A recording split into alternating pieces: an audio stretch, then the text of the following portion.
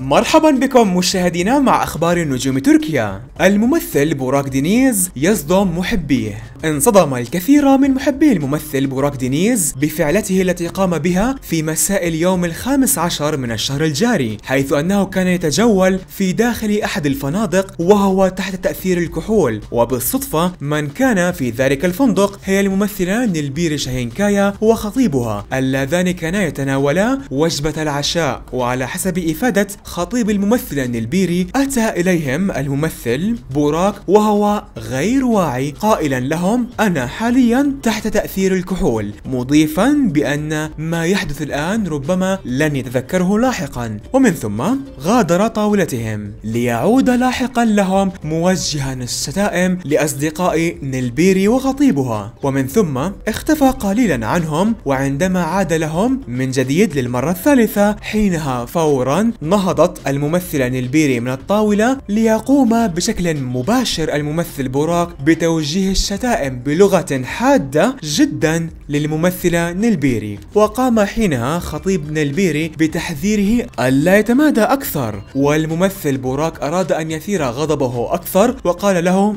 اضربني. ولكن خطيب نيلبيري لم يقم بذلك. يذكر أن الممثلة نيلبيري قامت بإلغاء متابعتها للممثل بوراك من الإنستغرام. وكما أن الصديق المقرب للممثل نيلبيري وهو الممثل أوراسكاي جالار أولو قام بإلغاء متابعته للممثل بوراك دينيز. وأيضا بدأت الممثلة نيلبيري بالإجراءات القانونية حيال ما قام به الممثل بوراك دينيز. ومؤخرا وفي خلال هذه الأيام قام الممثل بوراك دينيز بالاعتذار للعلن للممثلة نيلبيري شاهينكايا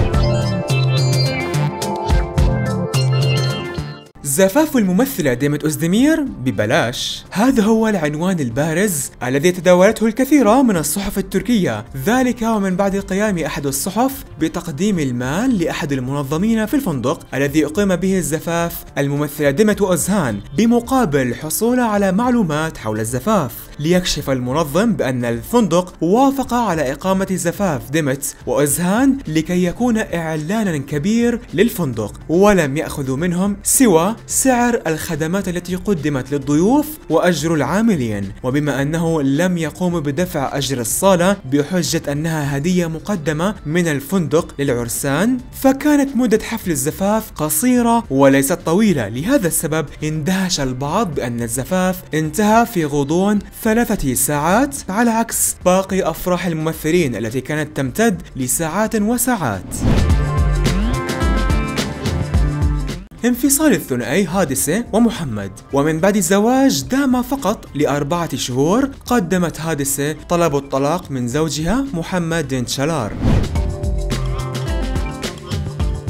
إصابة الطفلة ماذي بالسرطان؟ كشفت غمزة أرتشال شقيقة الممثلة هاند إرتشال بأنها من الأساس كانت لا ترغب أبدا بالكشف بأن ابنتها ماذي أصيبت بالسرطان وكانت تخطط بأن تخبر الجميع بذلك عندما تتم معافاة ماذي بالكامل. وكانت ستقول للجميع بأنه مجرد مرض بسيط حتى لا يتأثر كبار السن من عائلتها بهذا الخبر. ولكن وبشكل ما أصبح الجميع على دراية بهذا الخبر وأوضحت غمزة بأنه قبل أسبوعين بدأوا بالعلاج مع ماذا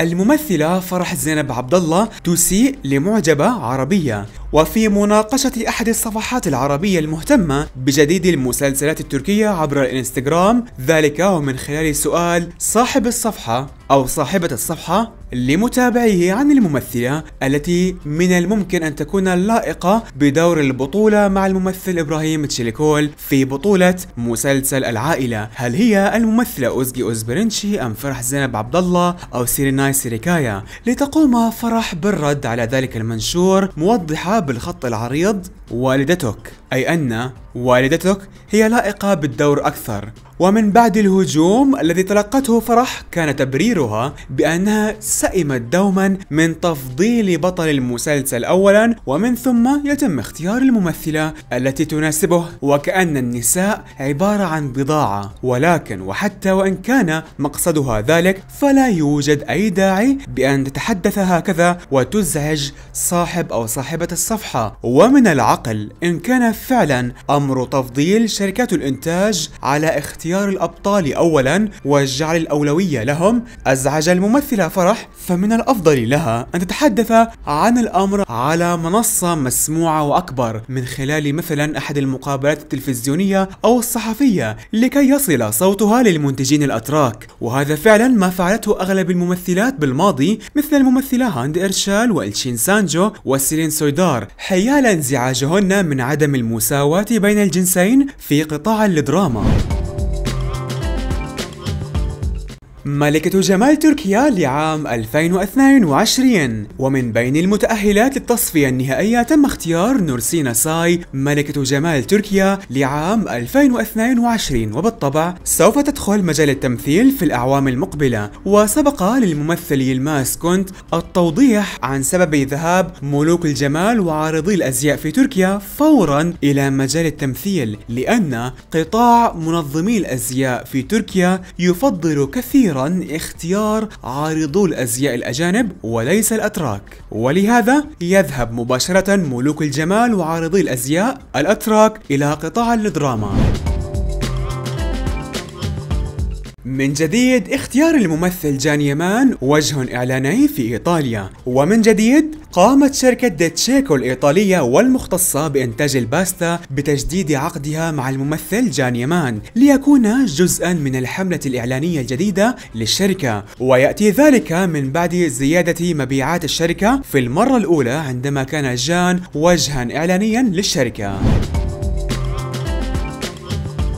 وهذه الصورة الحديثة التي نشرتها الممثلة مريم أوزرلي برفقة والديها وبناتها. أول لقاء مع الممثلة يلدز تشاري بعد الزواج. وفي أثناء تسوق الممثلة يلدز تشاري والتي تزوجت مؤخرا من الممثل بيرك أوكتاي قالت بأنه تم تأجيل شهر العسل حيث أنها هي وزوجها منشغلين. وفي سؤال الصحافة عن الادعاءات التي قالتها زوجة الممثل بيرك أوكتاي السابقة بأن بيرك هو خائن. فلم تهتم أبدا الممثلة يلدز بما قاله الصحفي ولم تجيب على ذلك السؤال.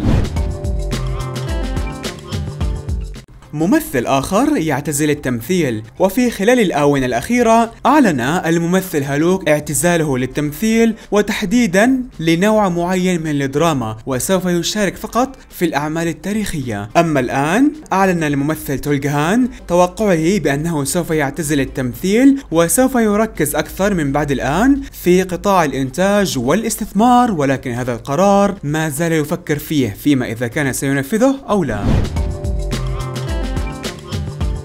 ومؤخرا قامت الممثلة ميليسا أسليموك بحذف جميع الصور التي تجمعها مع الممثل مصطفى مارت كوتش أي أنه من المعروف ماذا حدث؟ بنفصلوا بحذفوا صور بعض حركات الصغار والهبل المراهقين مسخرة.